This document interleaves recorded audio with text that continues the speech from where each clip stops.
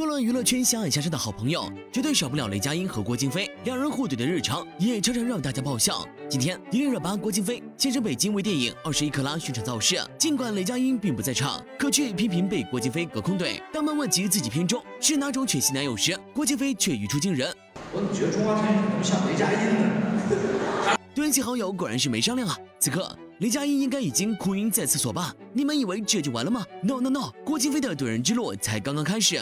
当导演透露将迪丽热巴饰演的角色名字设定为刘佳音的原因时，雷佳音又遭殃了。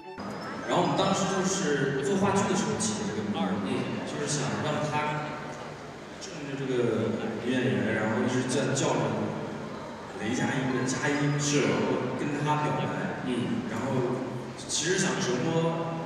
郭京飞的，我觉得，我觉得在这儿其实真的别提太多他了，不想让他提，不想让他蹭热巴的热度。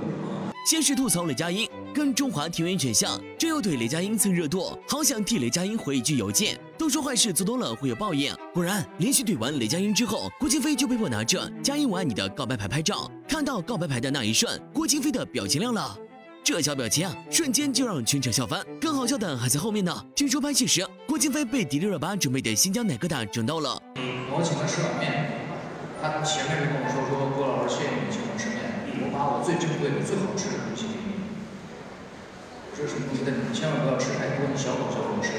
就新疆的奶疙瘩，我根本不知道分享的，像怎么这么抠啊，而且就这么一小块，我想到我就一口塞进去。那个确实蛮炸的，差点晕过去，真的差点晕过去，我完全没准备。当你也有被整的时候，笑痛肚子的小记者，北京报道。